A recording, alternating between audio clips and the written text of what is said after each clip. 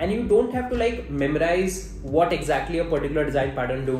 What are the situations in which you can apply a particular design pattern before heading towards design pattern, you need to learn solid principles. I'm going to talk about one very simple thing that I noticed while I was preparing and learning low level design. This is something that I apply to my own preparation in low level design interviews. This is something that also helps me in my day to day coding work as well. Hello everyone, I'm Sanket Singh and welcome back to my channel. So guys, this is going to be a pretty interesting video a lot of comments I got on a few of my recent videos where I talked about my own interview experience regarding the machine coding and low level design. In a lot of comments, a lot of people were actually asking that how I used to actually approach these kind of LLD problems. So in this particular video, I'm going to talk about one very simple thing that I noticed while I was preparing and learning low level design. And I believe this simple and straightforward thing can help you to understand a lot of design patterns and instead of you just rote learning those design patterns you will be able to actually figure out some of the problems that a situation can have and then try to apply a design pattern accordingly so this is going to be a pretty informative video and this is something that I have figured out myself this is something that I apply to my own preparation in low level design interviews. This is something that also helps me in my day to day coding work as well. So without any further ado, let's just start and let's start talking about how I actually mastered low level design and design patterns. But before moving there, if you have not yet subscribed to the channel, this might be a good time because we are going to put a lot of interesting content on the channel regarding your tech journey and career. So without any further ado, let's just start and let's start talking about how exactly I mastered low level design. So before moving forward, I would like to discuss about a brand new offering that we have at AlgoCamp. So if you are somebody who already knows software development and are very much intrigued by the crazy amount of stuff that you can actually develop using the knowledge of your software development, then this is going to be something interesting for you. So if you're somebody who loves to take deeper dive into everything and wants to understand that how exactly scalable systems are developed, not just on the high level part, but on the low level coding implementation part as well, then we have actually launched our brand new system design course, which which includes both the low level design aspect and the high level design aspect of the scalable systems. In this particular course, eh, with respect to HLD, we are going to talk about a lot of systems, including system design of things like Uber, streaming systems like Netflix, how you can actually design your own ad click aggregator, how you can design scalable notifications, how you can design code deployment systems, and many more. There are tons and tons of high level design problems that we have added. Apart from that, there are a lot of interesting system design concepts that we have actually added, including design patterns like Saga pattern, anti-corruption layer pattern. We have also added orchestration pattern and some other interesting aspects around caching layer, blob storages and whatnot. This is going to be a power packed course for high level design. And along with that, there is low level design as well, where we are going to talk about solid principle. We are going to talk about tons and tons of different design patterns. And we are going to solve a lot of problems, including designing your own logger, designing kind of like a chess game, designing kind of like a book my show system, a splitwise and whatnot. This low level design part is going to technically prepare you for any kind of a low level design or object oriented interview as well as for your machine coding interviews as well. This is going to be a definitely a power packed live course where we are going to talk about everything end to end in system design. And we have also added some additional topics around concurrency and testing as well. So what are you waiting for? All the details about this particular course is actually mentioned in the description section below. Go there, check it out and use this particular coupon code to actually get the maximum possible discount and see you guys in the course. That being said, let's go back to the video. So see, I'll just come straight forward towards the point. So if you want to actually make sure that you understand most of the design patterns and you don't have to like memorize what exactly a particular design pattern do, what are the situations in which you can apply a particular design pattern. Before heading towards design pattern, you need to learn solid principles. Now trust me on this. The solid principles, the five solid principles are actually the foundations and the basis of most of the design patterns that you're going to see right. When i talk about solid principles i am including everything. The single responsibility principle open close principle liskov substitution principle interface segregation principle and dependency inversion principle.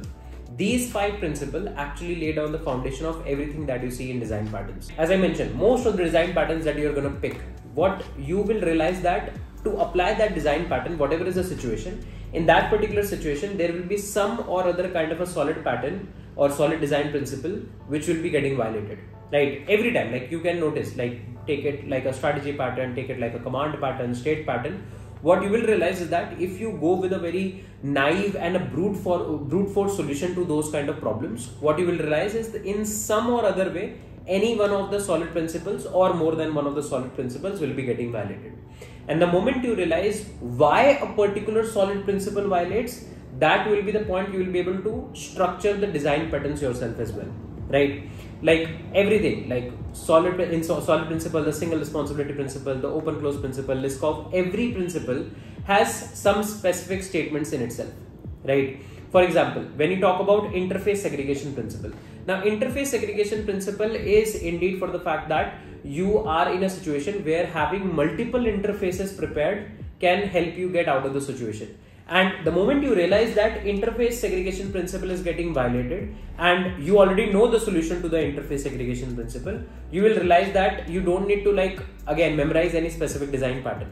Right? You take any example like if you take the example of strategy pattern you will realize that in strategy pattern also all of these solid principle concepts some or the other way are getting violated.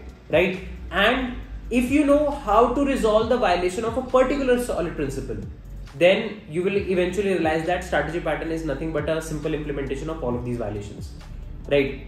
This is something that you have to always keep in mind. So if you are actually starting a journey into learning design patterns i would say spend maybe a week or two if you want on solid principle explore as much as situations around solid principles and see when they can get violated and how these violations can be solved. The moment you learn that a lot of design patterns will be actually sorted for you. Yes there will be some design patterns which will be kind of like out of uh, like not exactly very much related there can be a few but most of them you will realize is gonna somewhere lie around this particular kind of a situation. It's like the how the way you learn dsa in dsa also i generally recommend people to not just keep treating every single problem as a separate new problem there are some certain pattern of problems that are actually evolved into newer problems altogether if you know those patterns, then solving newer problems becomes relatively easy. Same thing you need to technically apply here as well. Now, the second very important point that you have to always keep in mind that all the basis of low level design comes from the basic object oriented programming. And two to three uh, most important object oriented principles are polymorphism, inheritance, and composition. You technically need to understand why do you need polymorphism in which situation polymorphism can be helpful, right? Because a lot of design patterns are going to be actually, uh, I would say, dependent on the policies and the intricacies of polymorphism. Apart from that, you need to understand when inheritance is required, when composition is required, when can you shuffle up between them, why one is better, why other is not better, and so on this will actually help you a lot in your interviews as well because in a lot of time like for example what what can happen in, a, in an interview and this has happened to me as well in my flipkart interviews as well that maybe what you will do is you will try to apply a design principle or a design pattern and you will solve the problem the interviewer can ask you that why you went ahead with composition why you didn't go ahead with uh, i would say inheritance or vice versa so these kind of answers should be there with you.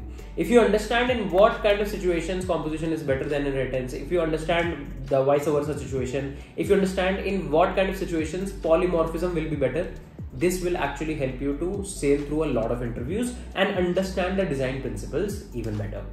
Now, the third and the most important thing that I believe you should always take care is that whenever you are learning any solid principle, design patterns, any kind of object oriented principle, you should try to see in actual real life scenarios, in actual real life projects, in actual real life code bases, where do you see those situations coming up? Right? For example, you learn facade patterns. Think about where you have seen facade classes coming up in places and helping you all together. If you see strategy pattern, think about where you have seen strategy classes coming into the place and what other places you can see. Right? Same thing like for example, builder pattern so a lot of time when I teach builder pattern or when I discuss about builder pattern, I always try to make sure that I tell you the um, I would say applications of builder pattern. For example, if at any point of time you have done interaction network interactions through gRPC. So in gRPC, you prepare your models generally using protocol buffers. Now the good part about gRPC is that when you write a protocol buffer, it automatically creates all the classes for your protocol buffers and it also creates the builder classes for them. That's a direct application of builder pattern altogether because you get those builder classes using which you can create your final eventual objects. Right you will see a lot of libraries helping you to use builder uh, pattern only in order to create the objects altogether. And not just in languages like java or c++ but in other languages as well so this is something that you have to always keep in mind that whenever you learn a design pattern instead of just because a lot of time if you see the online tutorials or uh, some of the famous books they take very casual examples like some birds are there some ducks are there some animals are there and so on that's not how real life coding is technically done right? If you want to understand design patterns properly you should try to think that in real life scenarios where it can be applied. Maybe think about some payment system in which you can apply that particular kind of a pattern. Maybe think about some kind of a uh, I would say booking system where you can actually design, apply that pattern and so on. Try to think of real applications real classes real i would say interfaces uh, instead of thinking about just some random book examples because book examples are easy to understand things in a simple way. But if you understand things in a simple way that's good up till a certain level. You have to then memorize it. But if you understand how a design principle can be applied in a real life application how uh, interface segregation how dependency inversion actually works in real life projects. For example you take a spring boot project and try to build up things and then understand a lot of things you will eventually learn it for a longer period of time and like you don't have to like memorize it because you have seen the applications and you can just remember the applications. Eventually all the principles all the design patterns will be automatically fitted in your mind. So these are the three very important things that i did in order to make sure that i understand design principles design patterns very well. And i'm able to apply all of those in my low level design and machine coding interviews as well. So Tell me your thoughts in the comment section below if you agree to all of these three points or not. And if you have any other thoughts or any other tricks that you technically apply to master your LLD, um, I would say preparation, do drop that in the comment section below. I would say that would be helpful for the wider audience as well. That being said, let's wrap this particular video here and we're going to meet soon in the next set of videos where we are going to continue discussion on some really more awesome tech related stuff. Till then, take care. Bye bye. I'm Sanket Singh signing off.